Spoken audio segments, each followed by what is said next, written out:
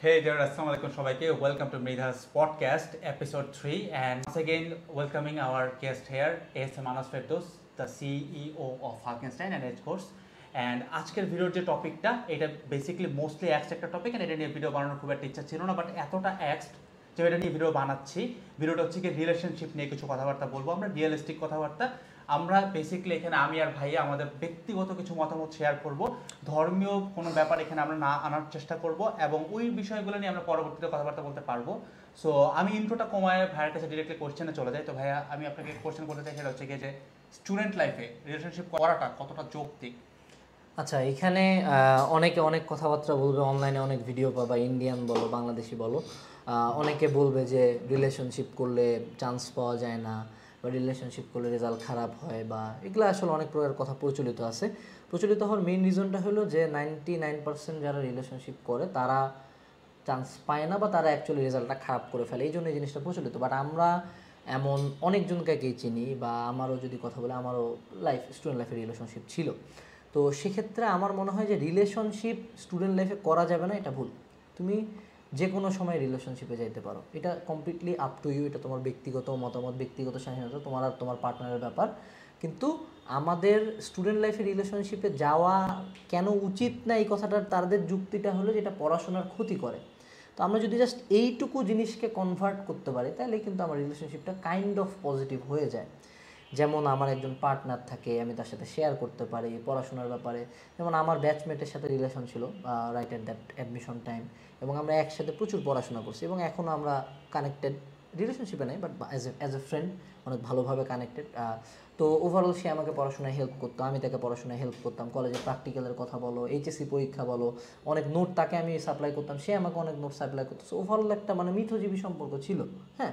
এবং আমাদের একটা ব্যারিয়ার আমি আমার প্রত্যেক রিলেশনশিপে অলওয়েজ একটা ব্যারিয়ার মেনটেন করি এবং আমরা যারা, যাদেরকে আমি দেখছি লাইফে মোটামুটি সফল এবং রিলেশনশিপ কন্টিনিউ করতেছে, তাদের ক্ষেত্রে আমি দেখি একটা ব্যারিয়ার তারা মেনটেন করে যে যাতে মাথা তালে ঠিক। মানে ও যা করে করুক রিলেশনশিপ করুক ডেট মারুক, ঘুরতে যাক, কান্নাকাটি করুক, মারামারি হোক, যা হোক, ওর বাকি লাইফ ঠিক আছে। মানে আমার ক্যারিয়ার ওকে, আমার পড়াশোনা ওকে বাকি টাইম আমি রিলেশনশিপে আগাবো, ঠিক আছে? বাট আমরা যারা যেটা করি, আমরা যারা রিলেশনশিপে চলে যাই, আমরা হলো পাগলা হয়ে যাই। মানে রিলেশনশিপে গেছি মানে সকাল থেকে রাত পর্যন্ত ওই সেম কাজই করতেছি। ঘুরে বেড়াচ্ছি কলেজ বাদ দিচ্ছি কোচিং যাচ্ছি না, পড়াশোনা ছেড়ে দিচ্ছি, খাওয়া ছেড়ে দিচ্ছি। আমার মোটো এটাই যে আমি লাইফে আমার পড়াশোনা ক্যারিয়ার বা আমার বিজনেস বা যা কিছু এগুলা ফিক্স রাখে আমি যা করতে পারব। এবং আমি কোনোদিন আমার রিলেশনশিপের জন্য এগুলাতে এটার প্রভাব আসতে দিই না যদি হ্যাঁ কিছু ব্রেকআপ আমাকে কমপ্লিটলি ডিস্ট্রয় করে দিছে। হ্যাঁ কিন্তু আহ, তার পরবর্তীতেও আমি যদি আমার রিলেশনশিপ হয় আমি অলওয়েজ এই ব্যারিয়ারটা মেনটেন করে আমার পার্টনারের সাথে এই আন্ডারস্ট্যান্ডিংটা রাখি। এখানেই পয়েন্টটা যে আন্ডারস্ট্যান্ডিংটা থাকতে হবে।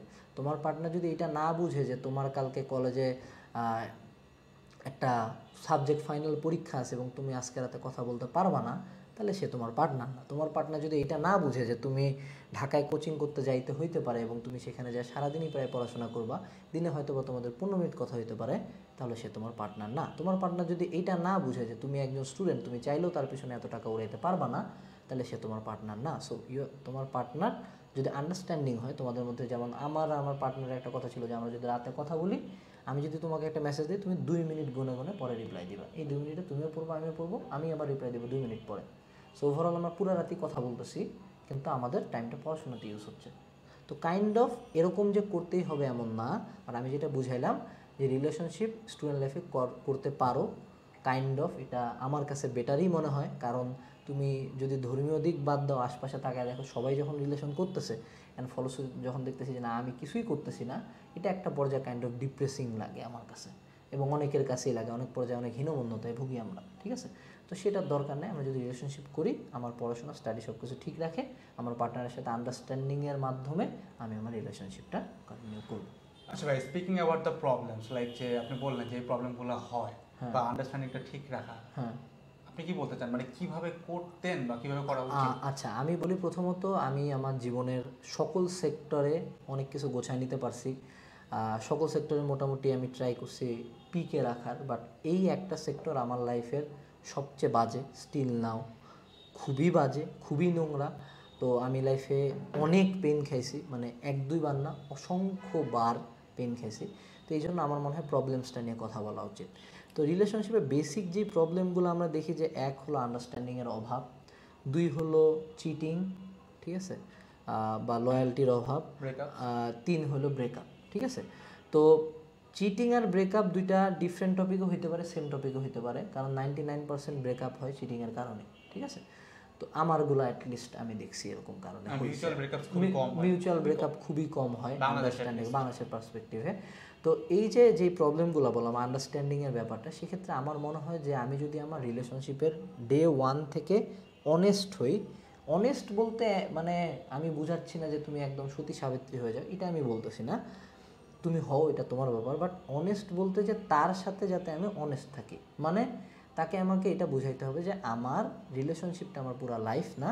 আমার ফ্যামিলি আছে, আমার বিজনেস আছে, আমার স্টাডি আছে, আমার জিম আছে, আমার অনেক কিছু আছে আমার লাইফে তুমি আমার লাইফের একটা অংশ। এখন আমি যদি শুরুতেই তাকে এমন একটা ভাইবস দিয়ে দিই যে আমি তোমার জন্য সব করতে পারব আমি মরেই যাব তোমার জন্য। এক এটা ল অফ অ্যাট্রাকশনের দিক থেকে সে আমার প্রতি ডিসগাস্টেড ফিল করবে বা আমার প্রতি অ্যাট্রাকশন একটা পর্যায়ে যায় কাজ করবে না। এবং একটা পর্যায়ে দেখা যাবে যে যখন আমি তাকে একটা মিথ্যা প্রিটেন্ড করলাম যে সেটা আমি যদি কোনো মেয়েকে যায় দেখা যায় আমার কোটি কোটি টাকা। তার বেসিক একটা অ্যাটেনশনই থাকবে আমার মানির প্রতি শুরু থেকে। কারণ আমি তাকে টাকা দিয়ে অ্যাট্রাক্ট করার চেষ্টা করতেছি।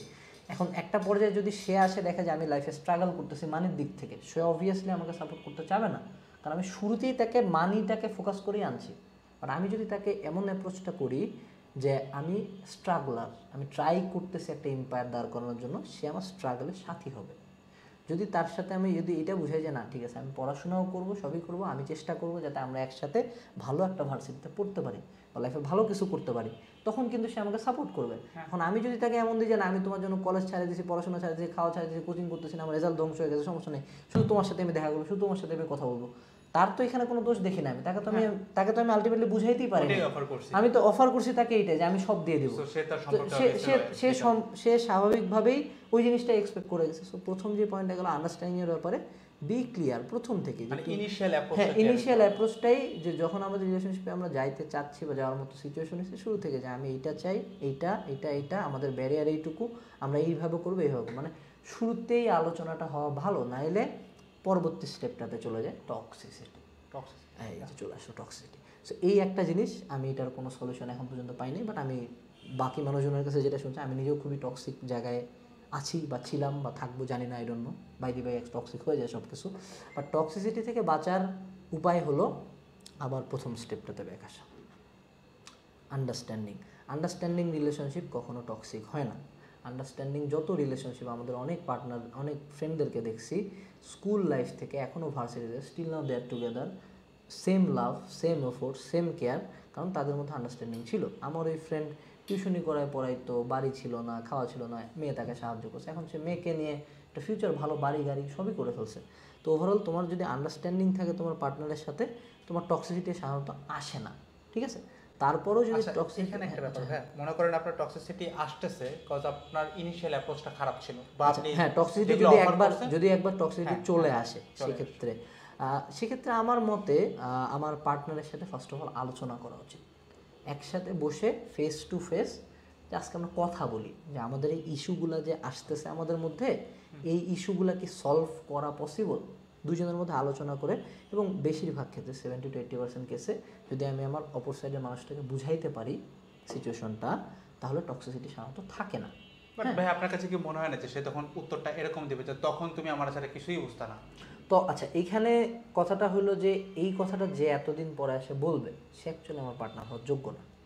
এটাও আমাকে বুঝতে হবে যে আমি যদি এখন রিয়েলিস্টিক্যালি চিন্তা না করে আমি যদি একটা টক্সিক জিনিসের মধ্যে কন্টিনিউয়াসলি থাকে নিজেকে এবং অপর পার্সনটা ডিস্ট্রয় করে এমন না যে আমি একা ডিস্ট্রয় হচ্ছে সেও কিন্তু ডিস্ট্রয় হচ্ছে।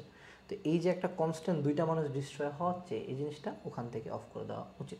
তো সেকেন্ড যেটা সাজেশন যে যদি টক্সিসিটি লিমিট ক্রস করে ফেলে, যে এমন কোনো একটা জিনিস, এমন কোনো একটা সম্পর্ক যেটা আমাকে কনস্ট্যান্টলি পেইন দিচ্ছে বা ধ্বংস করতেছে বা যেটা আমার জন্য বেনিফিট তো দূরের কথা, আমার হার্ম করতেছে, এমন পর্যায়ে যদি টক্সিক হয়ে যায়, তাহলে সেটা থেকে আমাকে বের হয়ে আসতে হবে, ঠিক আছে?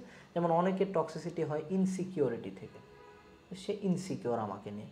আমি কোথাও যাইতে পারি না বের হইতে পারি না এটা করতে পারব না এটা করতে পারব না এখানে রিয়াক্ট দিলাম কেন? সো এই ব্যাপারগুলো কাইন্ড অফ ডিসকাস করেও সলভ করা যায় আবার অনেক ক্ষেত্রে অনেকের মাইন্ডসেটই থাকে এরকম।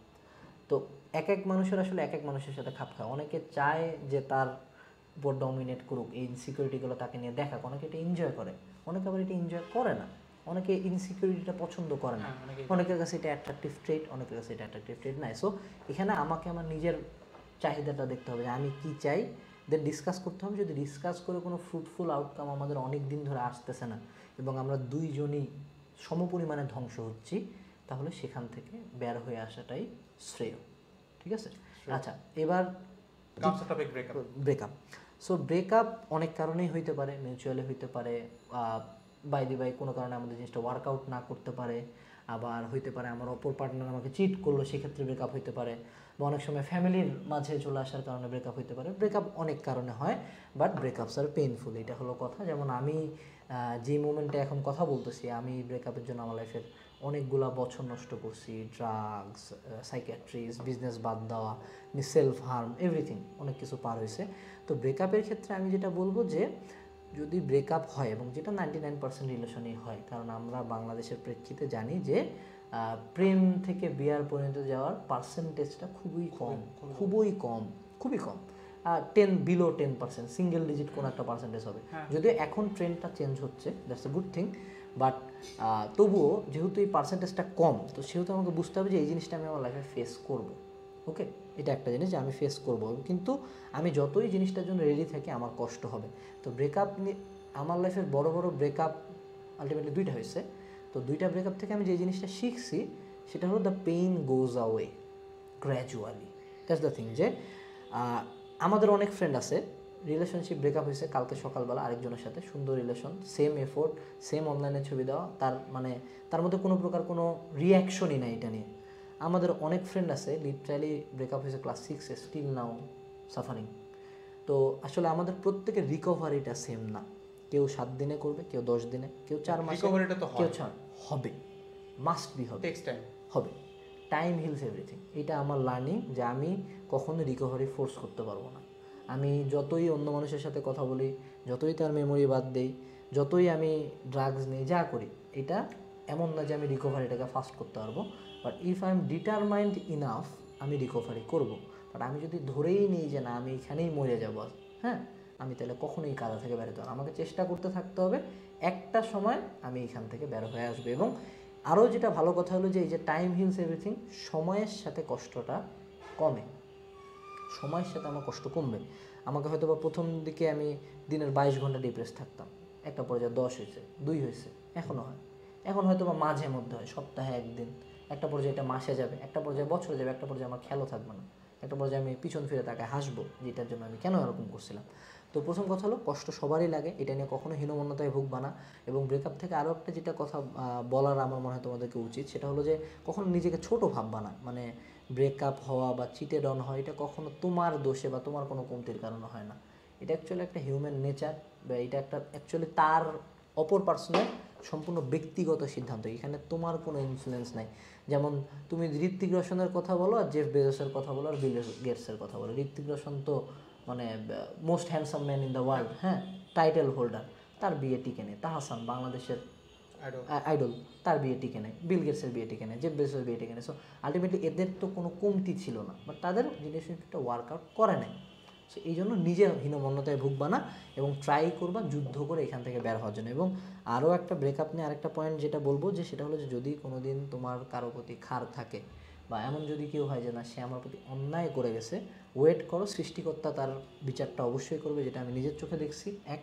আর দুই নাম্বার সেটা হলো যে, তুমি যদি অ্যাকচুয়ালি তার রিভেঞ্জ নিতে চাও, তার তুমি কোনো ক্ষতি করিও না, তুমি জাস্ট নিজেকে উপরে নিয়ে যাও দ্যাটস ইট তার এর চেয়ে বড় ক্ষতি এর চেয়ে বড় কষ্ট এর চেয়ে বড় পেন পৃথিবীর কোথাও নাই যে তুমি একজন কাকে ছাড়ে দিছো সে এখন আরও বেটার প্লেসে আছে। বেটার কারোর সাথে লাইফে বেটার পজিশনে আচ্ছা ভাই এখানে আরেকটা কোয়েশ্চেন আছে সেটা হচ্ছে গিয়ে মানে স্টুডেন্টদেরকে হেল্প করা আপনার কাছ থেকে শেখা। তো আমার যে কোর্সটা আছে মেন্টরশিপ কোর্স ওইখানে একটা কোয়েশ্চেন খুব বেশি সেটা হচ্ছে গিয়ে রিলেশনশিপটা টক্সিক হয়ে গেছে অ্যান্ড সে বের হইতে চাইতেছে। বাট দেখা গেছে যে অপোজিট জেন্ডারের যে লোকটা হ্যাঁ, বের হইতে চাচ্ছে না। মানে এক পাশে চাচ্ছে এক পাশে চাচ্ছে না। আচ্ছা এই So breakup টা করে কীভাবে? এটা অ্যাকচুয়ালি ব্রেকআপ করার কোনো ওয়ে না এটা। এটা আসলে মানে ভাই, এটা এরকম মানে আমি টক্সিক রিলেশনশিপ থেকে বের হতে চাচ্ছি। সত্য কথা বলতে গেলে আমি নিজেও অনেক ক্ষেত্রে পারি নাই। তো সেক্ষেত্রে টক্সিক রিলেশনশিপ থেকে বের হওয়ার যেটা আমার মতে মূল উপায় যখন আমি বুঝতে পারতেছি আমি এমন না যে আমি কাউকে ডাম্প করব। আমি এটা পৃথিবীর কখনো সাজেস্ট করব না যে তুমি কারও হার্ট ব্রেক করো বা কারও ক্ষতি করো। বাট যদি তুমি বুঝতেছো যে না এখানে তুমিও ক্ষতিগ্রস্ত হচ্ছ অপর ব্যক্তিও ক্ষতিগ্রস্ত হচ্ছে তো সেক্ষেত্রে তুমি দুইজনের ওয়েলবিংয়ের জন্য আমি যেটা সাজেস্ট করি যে একটা complete cut off like block her everywhere block her him যা হোক মানে নাই। না বাট ভাইয়া এই ক্ষেত্রে যে জিনিসটা শুনছে যে like suicidal attempts suicidal attempts সেক্ষেত্রে যখন আমার কাছে জিনিসটা সুইসাইডাল অ্যাটেম্পস হয়ে যায় এখানে অবশ্যই ফ্যামিলিকে ইনভলভ করতে হবে। এখানে মানে- যদি কেউ আমাকে সুইসাইডের হুমকি দেয় যে তুমি ছাড়ে গেলে আমি চলে যাব হ্যান করব ত্যান করব এটা তো আসলে নর্মাল কোনো মানুষের কাজ না। রিলেশনশিপকে ব্ল্যাকমেল করার জন্য করছিলাম। রিলেশনশিপকে আমি ব্ল্যাকমেল করার জন্য করি না এটা আমাকে তাহলে তো ডিরেক্টলি তুমি ব্ল্যাকমেল করতেছো। এটা তো আমার আমার মানসিক স্বাস্থ্যের জন্য হানিকারক। তুমি সুইসাইড করলে আমার কী হবে? আমি যদি সুইসাইড করে ফেলি সো যখন জিনিসটা এরকম হুমকি বা ব্ল্যাকমেলিং পর্যায়ে যায় আইদার পুলিশে কমপ্লেন করো যদি তোমাকে সে কোনো একটা তোমার কোনো ছবি বা কোনো কিছু নিয়ে এরকম করে অথবা যদি সে এরকম সুইসাইড বা হ্যান করে এক্ষেত্রে তুমি ফ্যামিলির হেল্প সিক করো। তার ফ্যামিলিকে জানাও কারণ তার অ্যাকচুয়ালি হেল্প দরকার তো। হ্যাঁ। সে যদি আমার জন্য সুইসাইড ধরো করল না সেটু সে আমি বের হয়ে গেলাম যদি তার লাইফে অন্য কোনো একটা সিচুয়েশনের জন্য যদি সে সুইসাইড করে ফেলে তো এটা তো আমি অবভিয়াসলি একজনের হেল্প করছি তার ফ্যামিলিকে জানানো উচিত না এই তার মধ্যে সুইসাইডাল বিহেভিয়ার আছে তাকে একটু সাপোর্ট করার চেষ্টা করেন। এবং তার ফ্যামিলি চাইলে তাকে থামাইতে পারবে কিন্তু। ফ্যামিলির প্রতি মানুষের আলাদা একটা টান থাকে। সো এটা হলো কথা যে যদি টক্সিক থেকে আমি বের হতে চাই একান্ত যদি আমি বের হতে না পারি সেক্ষেত্রে একটা কমপ্লিট কাট অফ লাগবে। যে এমন না যে ব্লক করলাম যুদুর বুদু করে দুদিন পরে আবার কথা বললাম আবার দেখা না, এরকম না। কাট অফ মানে কাট অফ কারণ এই কাট অফটা আমরা আমার স্বার্থে করতেছি না। এটা দুইজন পার্সনের স্বার্থে করতেছি। কারণ সেও পেইনে আছে আমিও পেইনে আসি এবং এটার আলটিমেট কোনো আউটকাম নাই। তো এই জায়গাটাতে আমাদের যে আরেকটা কথা বলে রাখা উচিত যে, আমি কিন্তু কাউকে সাজেস্ট করতেছি না যে, তুমি অলওয়েজ ব্রেকআপ করে ফেলো। আমি যেটা সাপোর্ট করি সেটা হলো যে রিলেশনশিপ ছয় বছর যাক, সাত বছর যাক, দশ বছর যাক, বিয়ে হোক, এটাই হলো রিলেশনশিপের আলটিমেট টার্গেট থাকা উচিত। সো রিলেশনশিপটাকে অলওয়েজ একটা অ্যানাদার চান্স দিবে। জাস্ট বিকজ এটা টক্সিক জাস্ট বিকজ কেউ একজন ছ্যাঁচড়া বা জাস্ট বিকজ সে তোমার জন্য পাগল, তাই বলেই যে তোমাকে চলে আসতে হবে এমন না। অনেক ক্ষেত্রে আমাদের জাস্ট কী দরকার জানো? সিম্পলি বসে কথা বলা। আমরা এটা করি না। আমরা ঝগড়া মারামারি ফুটাফুটি যা আছে হুমকি ধামকি সব করব। বাট আমরা কখনো ফেস টু ফেস একটা মানে ডিপ ডিসকাশনে যাব না যে অ্যাকচুয়ালি আমাদের প্রবলেমটা কোথায়। সো আমার মনে হয় যে কোনো রিলেশনশিপে যদি এরকম কোনো স্টেজ আসে উই শুড টক আচ্ছা ভাই আপনার কি এরকম কখনো মনে হয় যে লাইক আমাদের বাবা মার সময়টা বা তারও আগের সময় ওই টাইমের রিলেশনশিপগুলো একটু সুন্দর ছিল এখনকার চেয়ে? আচ্ছা এটা অবশ্যই তীব্র সহমত যে আমাদের এখনকার রিলেশনশিপগুলো খুব নোংরা। আমরা কেউই ভালো না, যে দেখতেছো সেও ভালো না, ও ভালো না, আমিও ভালো না, আমরা সবাই কঠিন যাওরা এটা হলো বাস্তবতা। কেউ সুযোগের অভাবে যাওরা হইতে পারি না বাট আমরা সবাই যাওরা আমরা বাংলাদেশি। বাট তারপরে কথা হলো যে আমাদের আগেকার জেনারেশনের রিলেশনশিপ বা লাভ স্টোরি একরকম ছিল, আমাদেরটা ডিফারেন্ট এটা ফার্স্ট অফ অল হ্যাঁ ডিফারেন্ট কিন্তু কেন? এটা কি পজিটিভ হইতে ডিফারেন্ট নাকি নেগেটিভ হইতে? অবশ্যই নেগেটিভ হইতে ডিফারেন্ট আমরা যদি কারেন্ট ডিভোর্স রেট দেখি আমরা যদি কারেন্ট ফ্যামিলি ব্রেকের রেট দেখি আমরা যদি ম্যারিজের রেট দেখি বিয়ের সংখ্যা কমে আসছে এখন মাইক্রো ফ্যামিলি হয় এবং ফ্যামিলি টিকে না। তারপরে আরও যেটা দেখা যায় যে আমাদের আশপাশের ninety percent relationship six month পার করতে পারে না। আমার দেখা যেটা হাতে গোনা কয়েকটা রিলেশনশিপ আমি দেখছি তিন বছর প্লাস আমি হয়তো আমার লাইফে দুই থেকে তিনটা রিলেশনশিপ পাইছি যারা বিয়ে করছে। দুজনের তীব্র ইচ্ছা থেকে বাট এখনকার রিলেশনশিপগুলো হয়ে গেছে অনেক বেশি নরবরে এটা যেটা মূল রিজন সেটা হলো আ লট অফ অপশনস যেটা আমাদের প্রিভিয়াস জেনারেশনে ছিল না। এবং আমাদের প্রিভিয়াস জেনারেশনের নৈতিক শিক্ষাটা অনেক স্ট্রং ছিল যার ওয়ান পার্সেন্ট আমরা ধারণ করি না। আমরা সুযোগ পাইলে তুমি আমি আমরা সবাই যে কোনো কিছু করতে পারি। আমরা ভালো ততক্ষণ পর্যন্ত যতক্ষণ পর্যন্ত সুযোগের অভাব। হ্যাঁ। হ্যাঁ আমরা সুযোগ পাওয়ার সাথে খারাপ হয়ে যাব। বাট আমাদের প্রিভিয়াস জেনারেশন মানে একটা আলাদা রকম মানে আদর্শ হোল্ড করতো। এই জেনারেশনটা চলে যাওয়ার পর আমরা বুঝতে পারব যে দুনিয়াতে কতটা আদর্শের অভাব দেখা দিছে। এই জেনারেশনটা এখনও বাঁচে আছে, আগামী বিশ বছরের মধ্যে হয়তো বা তিরিশ বছরের মধ্যে কারও বাপ মা থাকবে না। তো ওই জেনারেশনটা যাওয়ার পরে এই জেনারেশন যখন লিডে আসবে, তখন আমরা বুঝব যে আমাদের আদর্শর জায়গাটা কতটা দুর্বল। এবং আরও একটা কথা, যদি আমরা উনিশশো ছিয়ানব্বই সালের কথা চিন্তা করি তখন হয়তো বা একটা মেয়েকে আমি চিঠি দিতে পারতাম হয়তো বা রাস্তায় দ্বারা একটু কথা বলতে পারতাম, বাট তখন কিন্তু এমন কিন্তু ফেসবুকের মতো ছিল না যে আমি একসাথে বিশ জনের সাথে চ্যাটিং করতেছি বা আমার টিন্ডার ছিল না, আমার হয়তো ইনস্টাগ্রাম ছিল না, আমার হয়তো বা স্ন্যাপ ছিল না, যে আমি এতগুলা অপশন নিয়ে কাজ করতে পারি। যে আই ক্যান চুজ যে কে বেটার কে খারাপ।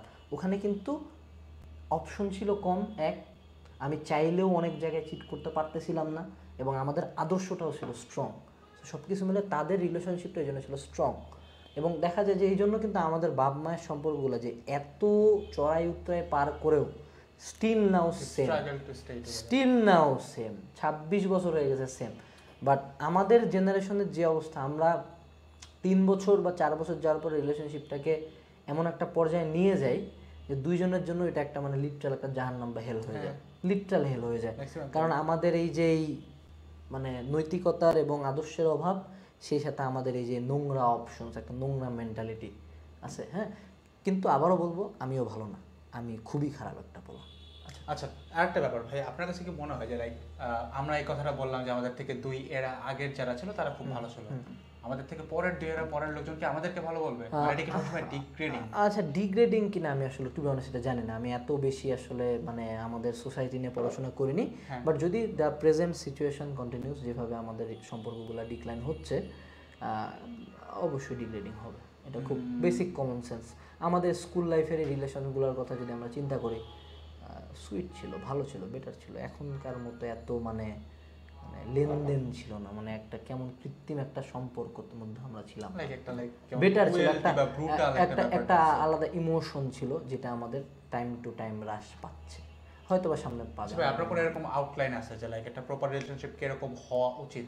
আচ্ছা একটা প্রপার রিলেশনশিপ এটা আসলে কোনো এজ চেহারা বা আমার অপর পার্টনার কেমন এগুলা দিয়ে বা ফিজিক্যাল অ্যাসপেক্টস এগুলো কোনো কিছুতে ডিসাইড করা উচিত না। আমার মতে একটা প্রপার রিলেশনশিপ সেটাই যেখানে হলো যে আমি আমার পার্টনারের সাথে স্যাটিসফাইড ঠিক আছে? এটা হলো লাইফের মানে সে টু সে যেমন ভার্সিটি চুজ করার মতো। যদি এখানে একটা মানুষ লিটারালি বাট ভার্সিটি চুজ করার ক্ষেত্রে দেখো পাবলিকেও অপরচুনিটিস আছে প্রাইভেটেও অপরচুনিটিস আছে ন্যাশনালেও অপরচুনিটিস আছে বিদেশেও আছে। কেউ কোনো পড়াশোনা না করে পুরান ঢাকার আরবদার হয়েও তোমার মনে করো বুয়েটের যে ফার্স্ট পোলাটা তার চেয়ে কয়েক হাজার গুণ ধনী হয়ে যাচ্ছে। অপরচুনিটি সব দিকে আছে বাট এইখানে যেই জিনিসটা সবচেয়ে বেশি এখন কাজ করে এখন আমরা বুঝি একটু বড় হওয়ার পরে যে আমার নিজের স্যাটিসফ্যাকশনটা কোন ভার্সিটিতে? আমি কি করতে চাই লাইফে আমি চাইটা কি? তো ফার্স্ট অফ অল আমার স্যাটিসফ্যাকশন থাকতে হবে যে আমার পার্টনার মোটা কালো খাটো গরিব কানা ফুতা কোনো সমস্যা নেই। আমি যদি তাকে নিয়ে স্যাটিসফাইড বাকি দুনিয়া জাহান নামে যাক হ্যাঁ এটা একটা ঠিক আছে? তো আমার ফার্স্ট অফ অল রিলেশনশিপে স্যাটিসফ্যাকশন থাকতে হবে। এমন যাতে না হয় হ্যাঁ, ভালো না। এই মায়েরা যদি পাইতাম এই পোলারে যদি পাইতাম সে গরিব পোলার সাথে আছে ধনী একটা পোলা লাগতো। সো তুমি যদি ধনী পোলা চাও ধনী পোলার দিকে যাও তার মানে তুমি হুদা কামে একটা গরিব পোলারে নিয়ে পেন দিবা কেন? তারপরে ধরো তুমি এবার চাও আলট্রা মডার্ন মেয়ে তুমি এখন একটা গাইয়া না প্রচণ্ড পর্দানশীল একটা মেয়েকে সাথে রিলেশন করে তাকে তুমি এখন আধুনিক বানাতে যাচ্ছ তাকে তুমি মেন্টালি টর্চার করছ তোমার দরকার আধুনিক মেয়ে তুমি আধুনিক সাথে মানে মানে। আমাদের আসলে কখনোই কুইক অ্যাপ্রোচ করা উচিত না আসলে হ্যাঁ। সময় নিয়ে হ্যাঁ, সময় নিয়ে যে হ্যাঁ যেমন অনেকে যেটা করে যে অনেকে আছে বাংলা বাঙালির যেটা টিপিক্যাল মনোভাব যে মেয়ে নিবে পুরা মডেল পুরা খুললাম খুললাম মেয়ে নিবে তারপর সেই মেয়েরে তারা বোরখার দিয়ে ঢুকানোর চেষ্টা করবে মানে তুমি এখানে যাবা না এই করবা না ওই করবা না হ্যান করবা না তা ভাই তোর যদি এইটাই প্রেফারেন্স ছিল তো তুই ওই দিকে কেন গেলি ভাই? এটাই। মানে তুই তোর মডেলের দরকার ছিল না। তুই যদি ভালো ওরকম মেয়ে চাইতিস তুই ওই দিকে আইতিস তারপর আবার অনেক মেয়ের যে বয়ফ্রেন্ডকে তার স্ট্রাগেল নিয়ে খোটা দেবে। এ তুমি পড়তেছো তোমার ট্যা নাই এই নাই ওই নাই। তোর যদি টাকাওয়ালা ছেলেই লাগতো তুই টাকা দেখে রিলেশন করতো তো দরকার ছিল না। তো একটা গরিব পোলারে ইমোশনালি ব্যাকমেল করে এখন তুমি তাকে মেন্টালি ট্রমা দাও এভরিডে সে প্রতিদিন নিজেকে দোষারোপ করে যে আমার ইনাফ টাকা নেই, আমার ইনাফ টাকা নেই। তোমার যেটা চাহিদা তুমি যেমন চাও সেটা দেখে আগো। তুমি হুদা কামে জাস্ট বিকজ তোমার কথা বলে দুদিন পিনিক লাগছে, দেখে আরেকজন মানুষকে তুমি অ্যাপ্রোচ করে তুমি তারা নিয়ে স্যাটিসফাইড না এবং তুমি এটা নিয়ে কনস্ট্যান্ট তাকে খোটা দিবা, এটা তো হবে না। তো ফার্স্ট পয়েন্ট হলো স্যাটিসফ্যাকশন দুই নাম্বার হলো আন্ডারস্ট্যান্ডিং আন্ডারস্ট্যান্ডিং ব্যাপারটা নিয়ে আমরা আগেও কথা বলছি, আবারও বলতেছি যে একটা রিলেশনশিপের সবচেয়ে মোস্ট ইম্পর্টেন্ট পার্ট হলো আন্ডারস্ট্যান্ডিং কারণ রিলেশনশিপের মূল থিমটা কি? যে একজন মানুষ আরেকজন মানুষকে সম- স্বয়ংসম্পূর্ণ করবে তাই না? তো আমি তাকে সাপোর্ট করব সে আমাকে সাপোর্ট করবে। আমি দিন শেষে সারা দিন এত কুত্তা মারা খাটে আসে তাকে একটা ফোন দিয়ে আই উইল ফিল পিস যে না ওই মানুষটা আমার কথা শুনবে উইদাউট এনি জাজমেন্ট আমাদের মধ্যে আন্ডারস্ট্যান্ডিং আছে না? সে বুঝতেছে যে না আজকে সারাদিন হয়তো আমি বিশটা ভিডিও বানাবো জিমে যাবে এত কিছু করব আমি তাকে কল দিতে পারতেছি না। But she knows I am here working ঠিক আছে? হ্যাঁ। আবার সে যদি ধরো কোনো একটা ধরো দোকানের সেলসম্যান মেয়ে হতে পারে যে সে একটা কাপড়ের দোকানে জব করে। ওকে এখন আমিও বুঝতেছি না, সে সারাদিন ওখানে কাপড় চোপড় দেখা যাচ্ছে হয়তো সে আমার সাথে কথা বলতে পারবে না। আবার আমার আন্ডারস্ট্যান্ডিংটা কি যে না, আমি জানি যে আমি একটা মেয়ের সাথে রিলেশন করছি যে হয়তো বা অনেক মডার্ন তার ওই ড্রেস আপই পছন্দ লাগে।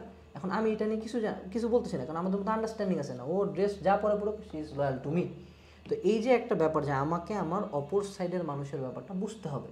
দুজনের মধ্যে আন্ডারস্ট্যান্ডিংটা থাকতে হবে। নাইলে রিলেশনশিপ ওয়ার্কআউট করে না, দুইটা পয়েন্ট গেল।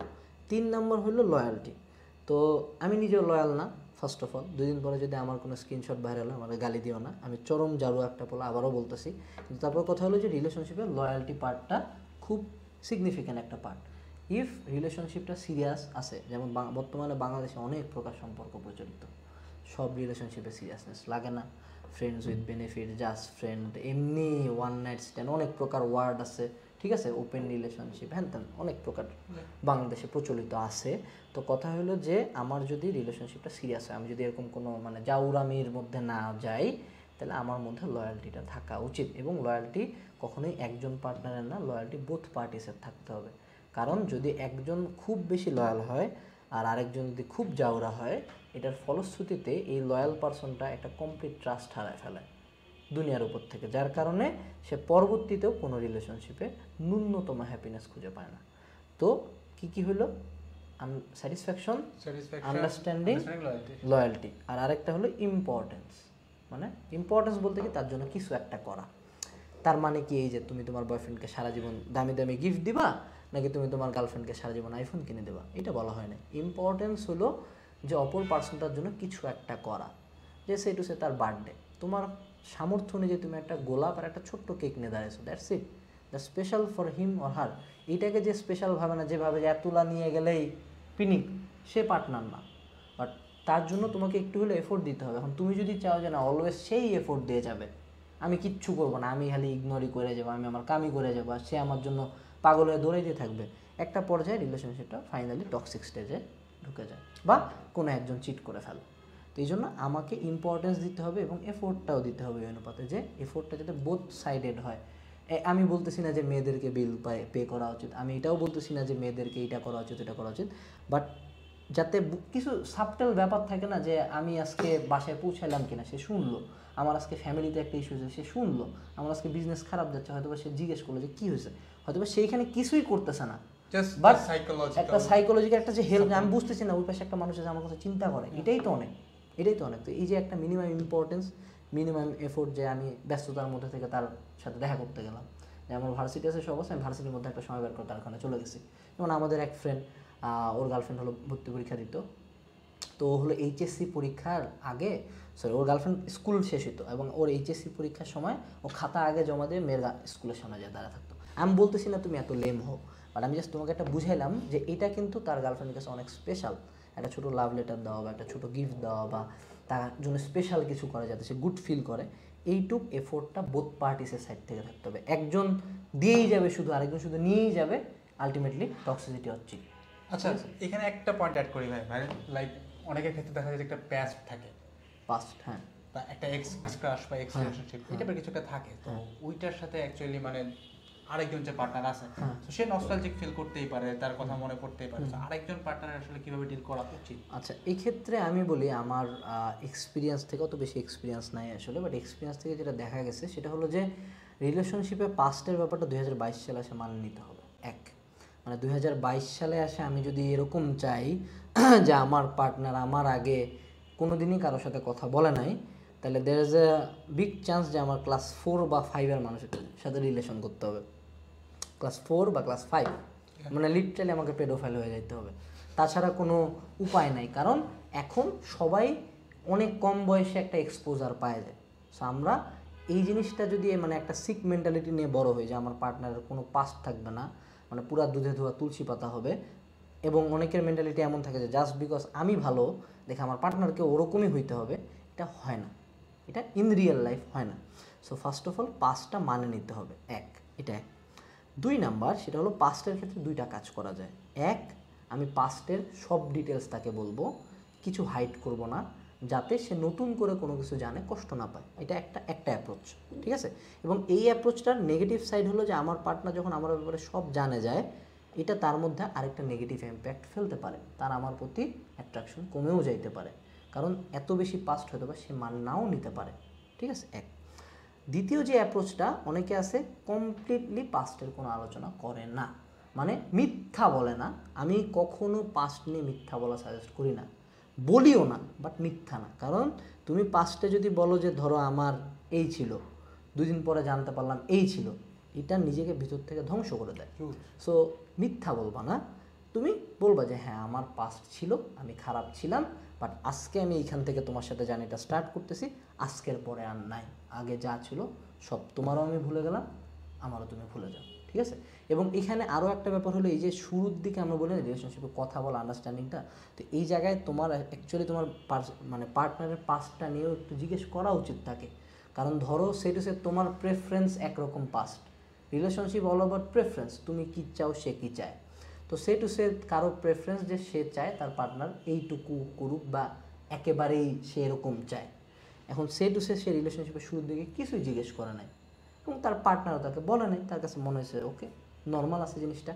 এখন ধরো কয়েক মাস পরে যায়, তার পাস্ট সামনে চলে আসলো এবং অপর সাইডের এই মানুষটা এখন যেহেতু জানে নাই সে সে এবার পেন খাচ্ছে কনস্ট্যান্টলি তো এই কাজটা করা যাবে না। সেটা হলো যে আমাকে পাস্টের ব্যাপারটা আমার মতে জানায় দেওয়া উচিত। আর যদি না জানাই লিটারালি কিছু জানাব না বাট তাকে অ্যাটলিস্ট আজ দিয়ে রাখব যেন দেয়ার ইজ সামথিং সামথিং যেটা তুমি জানো না জানলে এটা জানো জানলে কষ্ট পাবে এটা বলা শোনার দরকার নেই। যদি একেবারে সে ইনসিস্ট করে। এবং পাঁচটা আগেই আমাকে যাচাই করে নিতে হবে কারণ এটা একটা বিশাল বড় অন্যায় যে আমি একজনকে পাস্টের কথা জিজ্ঞেস না করে তার সাথে রিলেশনশিপ আগাই গেলাম এবং দুই দিন পরে তার পাস্ট জানতে পারে আমি তাকে ধুম করে তাকে ছাড়ে দিলাম যে আমার তোমার পাস্ট নিয়ে problem you should have asked him or her first okay so ভিডিওটা কনক্লুশনের দিকে চলে গেছে অ্যান্ড লাস্টের দিকে ভাইকে জাস্ট কিছু অ্যাডভাইসের জন্য বলব যে কি স্টুডেন্টদের কীভাবে কি করা উচিত and স্টুডেন্টের ক্ষেত্রে আমি বলব যে ফার্স্ট অফ অল রিলেশনশিপে যাও বা কিনা এটা তোমার ব্যাপার। আমি ইয়েস বা নো আমি কখনো সাজেস্ট করব না। তুমি যাইতে পারো তোমার ইচ্ছা। বাট গেলেও ডোন্ট ডিস্ট্রয় ইয়োর সেলফ একটাই কথা যে আমাকে আমার লাইফে সর্বাধিক ডিস্ট্রয় করছে আমার সম্পর্কগুলো আমার কাছের মানুষগুলাই। তো don't be me be a better version of yourself রিলেশনশিপগুলোকে তুমি হলে এই যে, যেই পয়েন্টগুলো বললাম এইভাবে হ্যান্ডেল করার ট্রাই করো। আর দিন শেষে যদি তুমি চাও যে না, তুমি একা থাকবা তুমি বিয়ে করবা, বিয়ের পরে তোমার প্রথম সম্পর্ক হবে, এটাও, এটা I salute that I respect that fact এটাও তুমি করতে পারো। বাট এটার কারণে আবার হীনমন্যতায় ভুগবা না। ওভারঅল রিলেশনশিপটা তোমার পুরা লাইফ না। এটা জিনিস মাথায় রাখব যে রিলেশনশিপ তোমার পুরা লাইফ না। It is just a small portion of your life তোমার লাইফে আরও অনেক কিছু আছে। সো এইটার জন্য নিজের পুরো লাইফটা ডিস্ট্রয় করব না। এখানে যে পয়েন্টগুলো বললাম শুরু থেকে আন্ডারস্ট্যান্ডিং আলোচনা ওভারঅল মানে ক্লিয়ার রাখে জিনিসটা নিয়ে আগাবা। এবং এই জিনিসটাকে কখনো নিজেকে ডিস্ট্রয় করতে দিবা না। কারণ এখন থেকে যদি আমি আমার প্রথম রিলেশন প্রথম ব্রেকআপের কথা চিন্তা করি আমার হাসি লাগে। এবং আমি হান্ড্রেড পার্সেন্ট গ্যারান্টি দিয়ে বলতে পারি যে এখন থেকে তিন বছর পরে আমি হয়তো বা দুই বছর আগে যে জিনিসটা নিয়ে পেন খাইছি ওটা নিয়ে হাসি লাগবে। এখন থেকে হয়তো বা আরও পাঁচ বছর পরে এখন যেটা নিয়ে পেন খাচ্ছি, সেটা নিয়ে আমার হাসি লাগবে। সো একটা পর্যায়ে তোমার এই ইমোশনগুলো তোমার খুব হাসির কারণ হবে। So don't destroy yourself best of luck so thanks lot ভাইয়া for being with us and hope to see you again soon so সবাই ভালো থাকবেন। আসসালামু আলাইকুম, সবাইকে